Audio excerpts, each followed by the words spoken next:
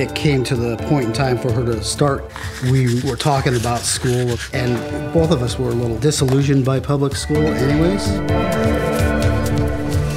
And we knew from fairly early on that she was very driven by art and tactile. She was very animated. Good morning. We just realized that she would probably prosper if something was different than the typical public school. For me, of course, I was concerned because, you know, I didn't want her to just color well.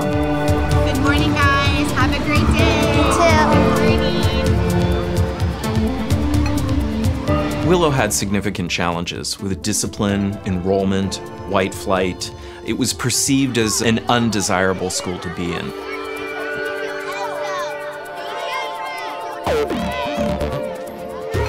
When we first looked at artful learning as a model that we wanted to adopt at our school, I was very excited.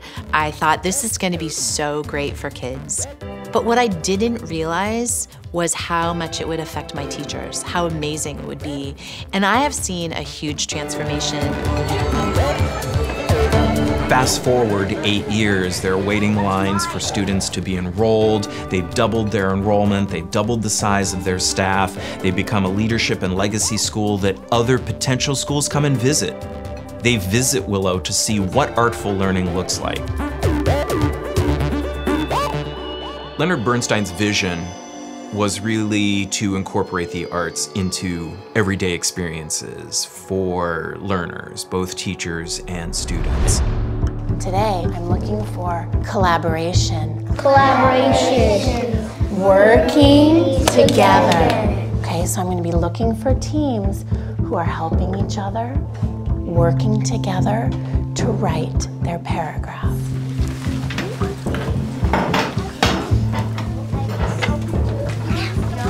Guys ready to get started? Do you want to take your strips and go down there? Get your clipboards. Take your strips. Go to the road. Write the dairy cow. Yeah, do you remember where to find that information? Where would you find it? It's right up there, the purple category. Okay. Okay, get your sentence strips. Take your pen and get your clipboards. Each grade level took all of their standards and all the things that they knew that they had to teach, then they mapped them out. We created a curriculum map. We looked for concepts that would connect our science, our social studies, our math, our language arts, to tie all of that content together into one unit.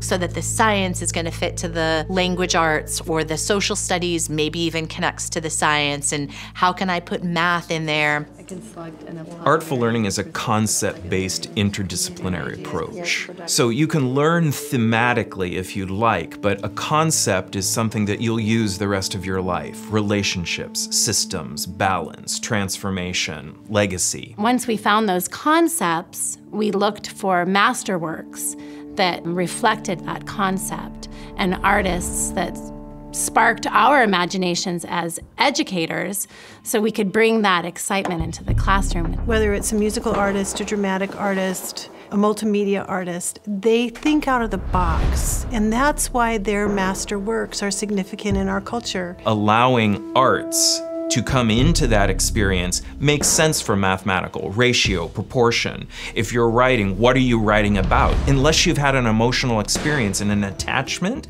to what it is that you're learning, you can't write something compelling. so each unit of study starts with a masterwork that brings kids in excites them it launches that whole unit of study and then teachers develop inquiry centers so students are able to really think about their own learning and inquire and um, come up with projects Make sure those instruments are to the side.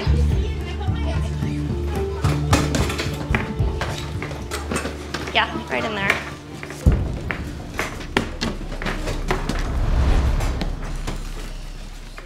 Our unit concept is transformation, and the significant question is how does transformation alter our world?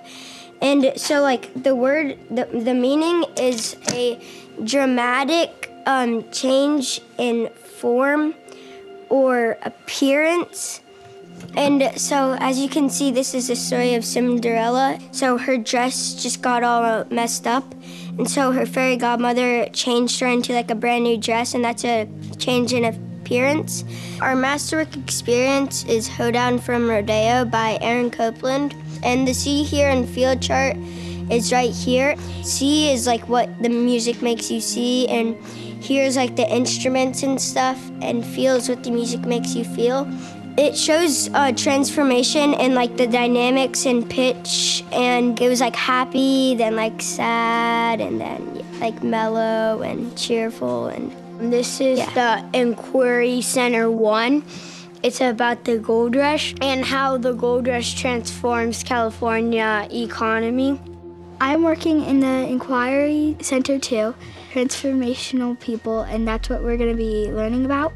The people that I'm talking about are Rosa Parks and Martin Luther King Jr. They changed people's life in a whole bunch of different ways.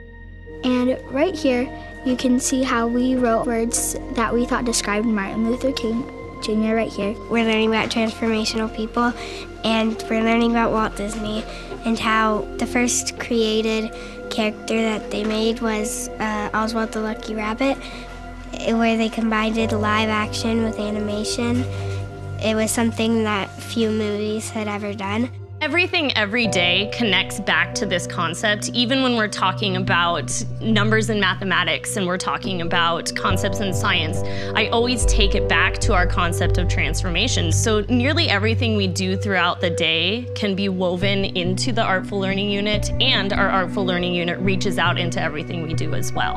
And then right here, the Oh Susanna parody by um, Stephen Foster, and, and he's like, I come from Alabama with my banjo on my knee and then Oh California by Jay Nicholas in 1848. He made his own song about California. He says, I come from Salem City with my um, washbowl on my knee, which is talking about he's gonna go find the gold and we wrote our own song about like a whole parody off of um, Oh Susanna. Part of the model is this idea of original creation. So we're pushing the students to create something that has never been created before. Louder. It's so powerful to have the kids actually create their own music because that that's the true test of you can see have they synthesized the information instead of just regurgitating something they take it to the next level and they are actually creating from that information and that is a really exciting Instead of just reading about the gold rush, we are rewriting a song, and students are playing um, collaboratively. They're performing the song, they're rewriting the lyrics, and so, you know, it's. Uh, it's more than just do you understand what you just read? When it's all connected around this big concept, not only does it help teachers deliver it in a way that makes more sense, but it also helps kids make meaning out of their learning. And they don't see things as separate. They're able to make connections in their mind. The learning goes deeper, um, the students are engaged, and it's just um, seeing those lights go on, those aha moments happen. It's not like learning an individual single subject in a boring manner. Instead, it's engaging and it's interesting, and they want to learn more about whatever topic it is that they're learning. Feeling emotion and emotional connection to learning is what is powerful about artful learning. You'll see with any artful learning student and teacher, there is an emotional connection. What do you think the audience is going to do when we finish the song? They are. And if you have an emotional connection to the learning, it's ingrained and you move into metaphor and something very powerful comes from that. How do we acknowledge and say thank you to the audience? We bow, so one, two, three. And we're really engaged and excited about it. That's what we remember. And when we love something, it stays with us in sort of a different way than just tiny pieces of knowledge. Do you need help with your sentence? Turn right there to the pictorial and you can pull those words right off passivity isn't what makes a learner. A learner is engaged and hands on and digging into their learning. And little kids can do that too.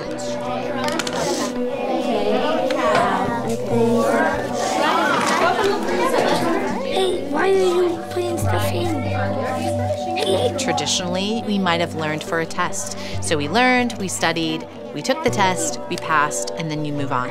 But I think that their learning and their experiences are different in that they're learning and then it turns into that emotional experience and they can really talk about it. They they aren't just ready to perform on a test. They have internalized it in a much different way. The dairy cows eat hay and grass. We get yogurt from a dairy cow. You worked hard on that sentence. For these reasons, dairy cows are amazing farm animals. So listen, later today or tomorrow, we're going to revise your paragraph. We need to have standardization, we need to have those things, but teaching is such an art. It is such a craft that comes from the heart. And when you regiment everything and you say you must be on page two of the teacher's guide, and now you must be on page four, and now that takes away that passion.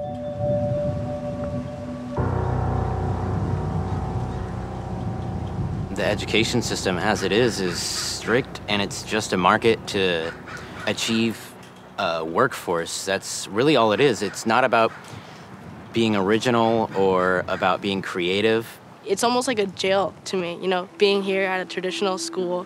And really, it's just creating drones.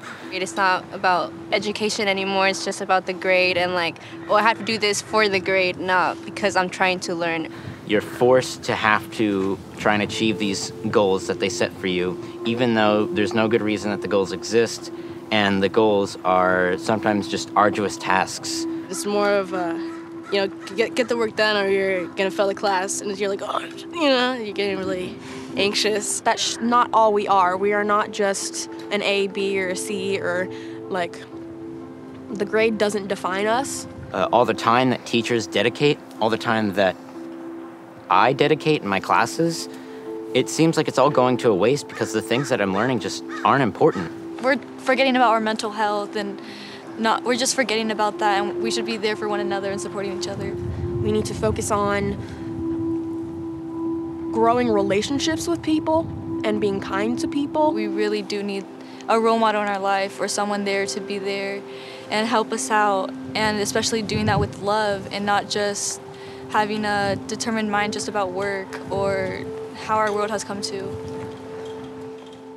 When education was in its heyday of development, it was in an industrialized era. So we knew what we had to prepare a worker for. I think that we are preparing children for jobs that we don't even know exist yet, or probably jobs that don't exist yet.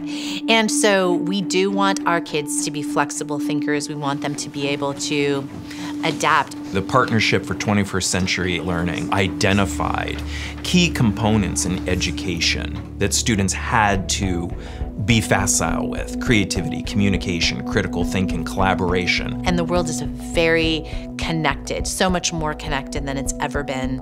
Um, and the possibilities are endless. They're going to be the future leaders of our communities, but we have to engage them in a way that allow those skills to blossom. Our kids are going to need to be able to look at the world and have a lot more control, I think, of their future. Are you okay there, Rosa Parks people?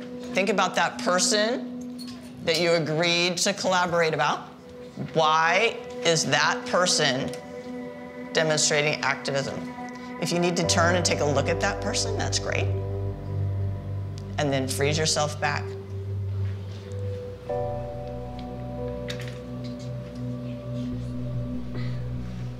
With your group, please have a discussion talking about what they think their role is and why it's important. No. So, come Papa, you can't take me because. Interdependence is a concept that we talk a lot about, and our second graders begin to understand we're all interdependent. So, helping them to understand how one thing, one person affects another is a huge life kind of lesson.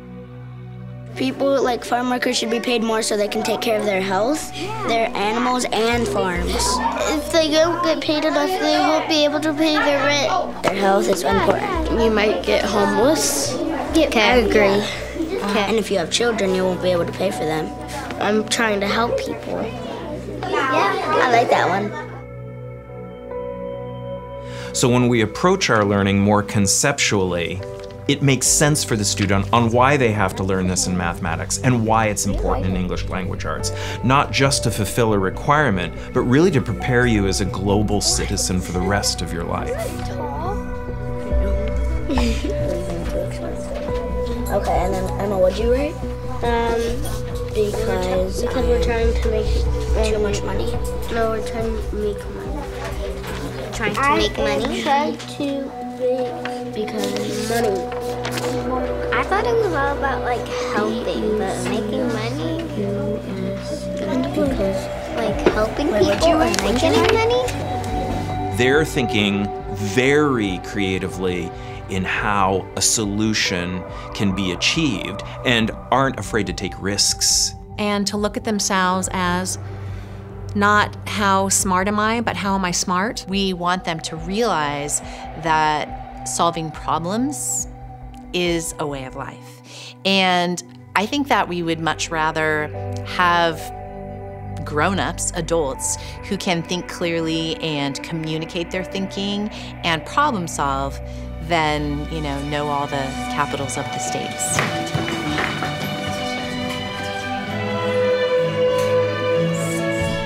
A lot of these arts-based skills and strategies help students build that perseverance and that ability to really look deeper at things and even look at the most simplistic activities and really really dive into them and go why am I making those choices? Why am I doing that in that way? And with math nowadays, students need to be able to know how to approach problems in so many different ways. We're gonna stop at our seats they're being asked to look at it from different directions and to apply the skills that they know in order to answer those problems. And so a lot of these skills that we're learning through our arts-based skills and strategies and through our units are building that up in those students to really be able to dig deeply and work hard with those types of problems. What happened if you got behind? What did you need to do if you got behind? Tell your neighbor one thing. Um,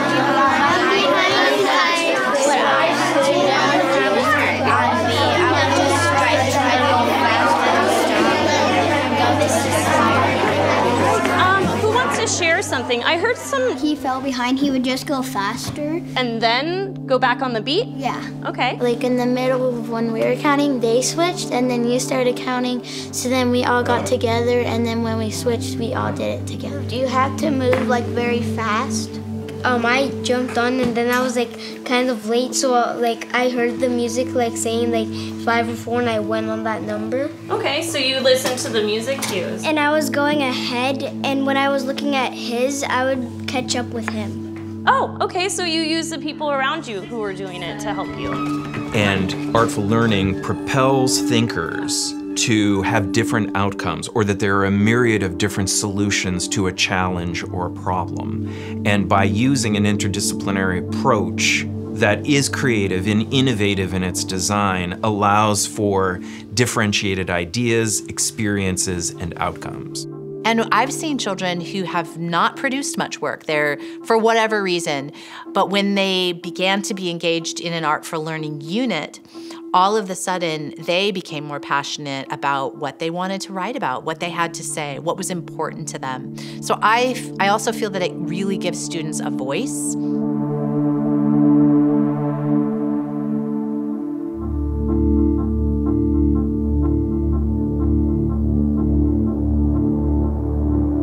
To artful learning is that we look at multiple intelligences and we look at differentiation. The visual learner, the auditory learner, the kinesthetic, the tactile learner. And artful learning teachers are trained to build units of study that engage every type of learner. Because not all kids learn the same.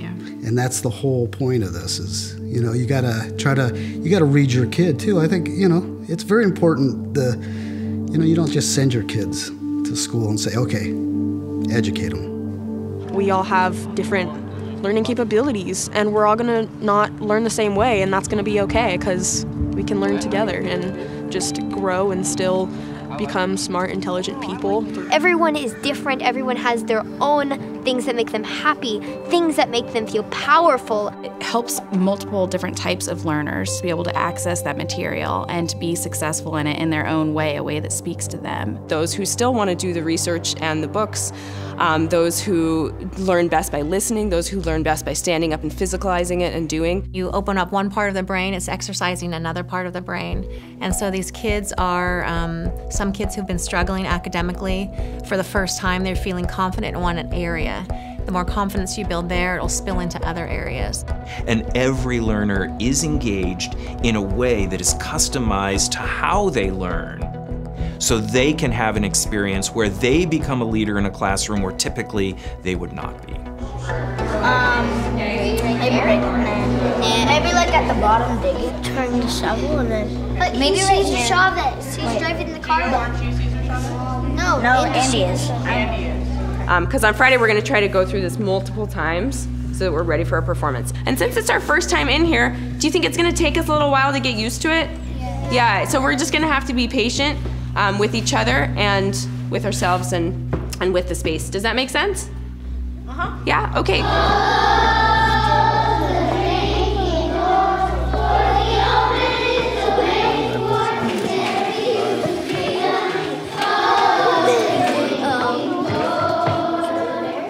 I think what it does for our exceptionally bright students is it pushes them. It pushes them to go even further. Because it's inquiry based, it's open ended, there's an opportunity for them to think as big as they want to think, be as creative as they want to be.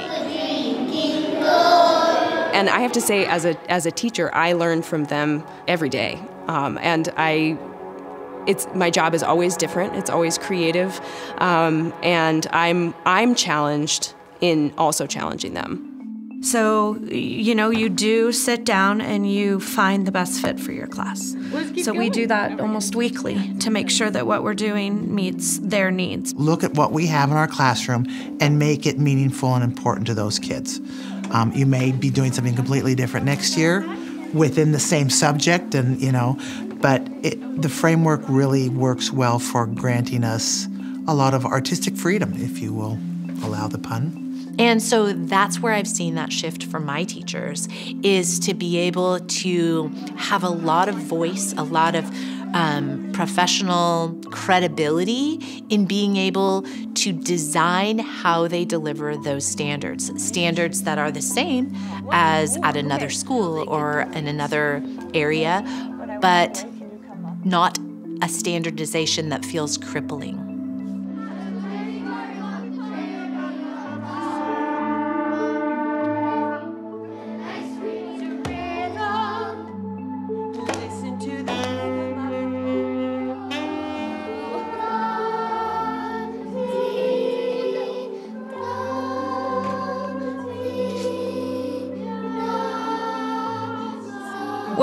I first found out we were going to be an artful learning school, um, I, I started looking for another job. I and it wasn't didn't have anything to do with the program. It just had to do with change. Change is hard. Change is challenging, and I I was stressed about it. Teachers are always leery when something is presented to them to say, this is just rearranging the deck chairs on the Titanic. And I'm just gonna wait this out. It's gonna be cyclical and it'll go away. And I'll keep doing what I know is best for students. It was a challenge in the beginning, and it was a little frightening just because it's something new and something really different. Um, but I think what's really helped tremendously was the amount of training that we've had. The training has put us in the position of a child. So we've been like students in the classroom as it's been modeled. We've been walked through all these beautiful processes. So as we've had the real life experience, it's so much easier to understand what a child is feeling like in the classroom and you kind of treasure those those feel good moments that I've had through the training. I know my students are sharing those same feel good moments. We've had educators 10, 20, 30 years during our professional development come up to us and say, I thought I knew what I was doing, and I'm actually embarrassed now that I can see what I can be doing in the classroom is totally changing the way I'm thinking. And it does. It invigorates, it empowers the teachers, but it also makes them look critically at their own practice.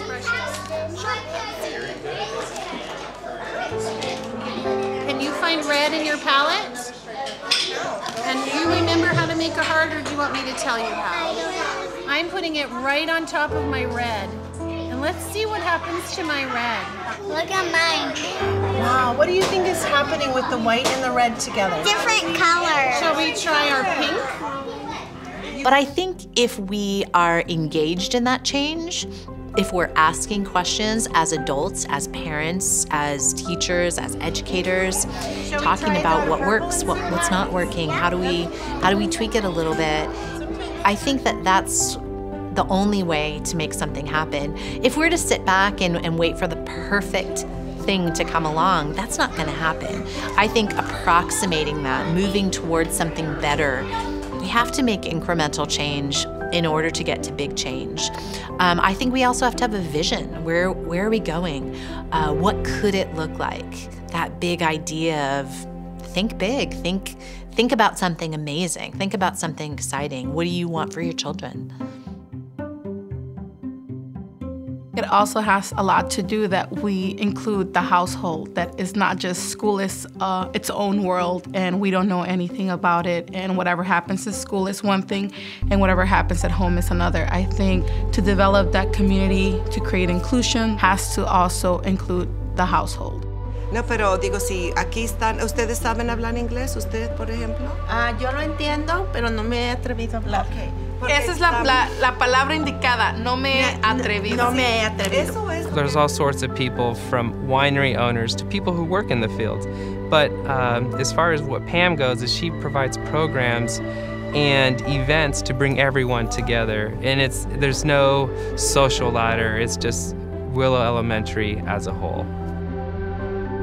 Just because we've always done something one way doesn't make that the right way. It doesn't make it the best way. It certainly doesn't make it the only way.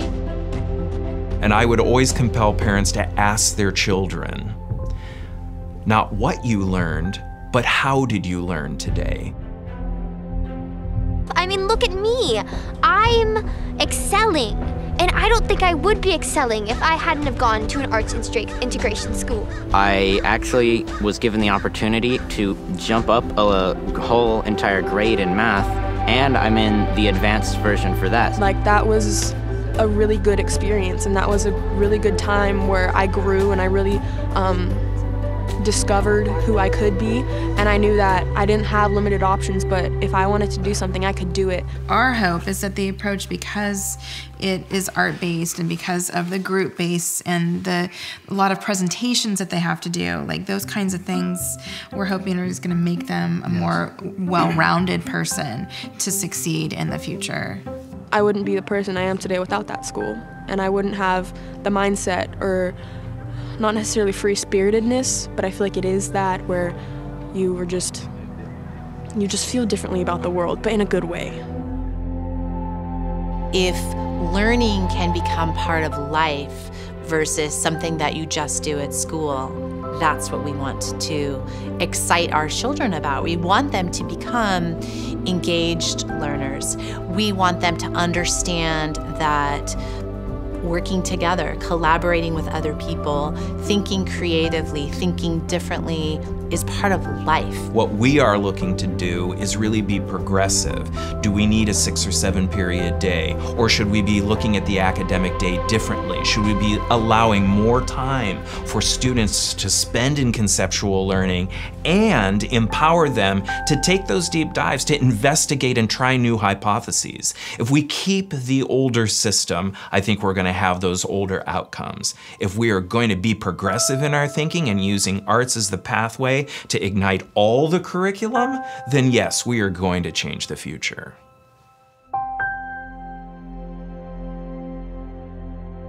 It's about thinking differently.